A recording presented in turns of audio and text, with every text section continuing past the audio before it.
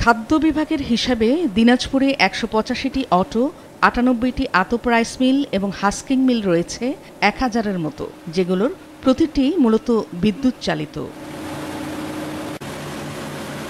গেল এক মাস ধরে ঘন ঘন লোডশেডিংয়ে উৎপাদন ব্যাহত হচ্ছে মিলগুলোতে। জেনারেটরের সাহায্যে সেগুলো সচল রাখতে গিয়ে বেড়ে গেছে উৎপাদন খরচ। প্রতি ঘন্টায় ডিজেল লাগছে সত্তর থেকে আশি লিটার। এতে লিটার প্রতি ডিজেল একশো পাঁচ টাকা পঞ্চাশ পয়সা হিসাবে ঘন্টায় খরচ পড়ছে সাত হাজার তিনশো পঁয়ত্রিশ টাকা থেকে আট হাজার চারশো চল্লিশ টাকা। বেশিরভাগ মিলেই তো আপনার বড় বড় মিল যেগুলো সেগুলো তো জেনারেটার আছে। বড় বড় জেনারেটার তারা লাগাইছে তবে ওদের তো ওটা তো খরচ অনেক বেশি।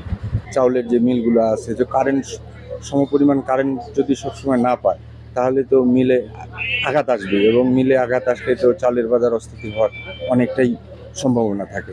আড়াইশোটিরও বেশি ডিজাইন অপশন নিয়ে ওয়াল্টন স্মার্ট ফ্রিজ বোঝে আপনার প্রয়োজন।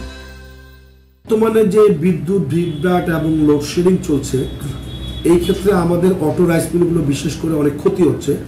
সেটা হলো আমাদের অটো রাইস মিলে প্রায় সত্তর আশিটার মতো ইলেকট্রনিক্স মোটর থাকে স্টার্টার থাকে। হঠাৎ করে বিদ্যুৎ চলে যাওয়াতে এই মোটরগুলো স্টার্টারগুলো নষ্ট হওয়া শুরু হচ্ছে। পাশাপাশি একবার যখন মিলটা বন্ধ হয়, তখন এর প্রক্রিয়ার যে জায়গাটা, এটা ব্লক হয়ে যায়, আবার পরিষ্কার করে চালু করতে হয়। এতে দেখা যাচ্ছে যে আমাদের যে উৎপাদনের সক্ষমতা, সেটা কিন্তু ফিফটি পার্সেন্টে নেমে আসছে। এর কারণে এই লেবার বিল আনুষঙ্গিক খরচে তাতে কিন্তু বাজার জাতের যে মূল্য, এটাতে কিন্তু একটা ধাক্কা আসতে পারে। এ অবস্থা চলতে থাকলে বাজারে চালের সরবরাহ কমে যাওয়ার পাশাপাশি এর দাম বেড়ে যাওয়ার আশঙ্কা করছেন ব্যবসায়ী ও ভোক্তারা। যার প্রভাব পড়তে পারে দেশের বিভিন্ন চালের বাজারেও। আমাদের এখানে যে বিদ্যুতের যে সমস্যাটা হচ্ছে যদি এই সমস্যাটা যদি এরকম থাকে যদি বেশি না হয় তাহলে বাজার বাড়ার সম্ভাবনা নাই। আর যদি এর থেকে বিদ্যুৎ বেশি মনে করেন যে না থাকে তখন প্রোডাকশনের ক্ষেত্রে সমস্যা হবে। তখন হয়তো কিছু বাড়লেও বাড়তে পারে। বেচা কিনা অবস্থা হিসাবে লোডশেডিং যদি বাড়ে তো মোটামুটি চালের দাম বাড়ে যাবে। কিন্তু বর্তমান চালের দাম একটু কম আছে। পর চালের দাম একটু বাড়ছিল।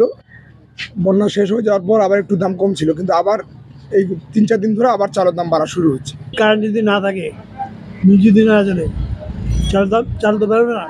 প্রতি বছর গড়ে চোদ্দ থেকে পনেরো লাখ টন চাল উৎপাদন হয় দিনাজপুরে এবং স্থানীয় চাহিদা মিটিয়ে উদ্বৃত্ত থাকে প্রায় দশ লাখ টন যা রাজধানী সহ দেশের দক্ষিণ পশ্চিমাঞ্চলের বিভিন্ন জেলায় পাঠানো হয়। Maasranga news desk.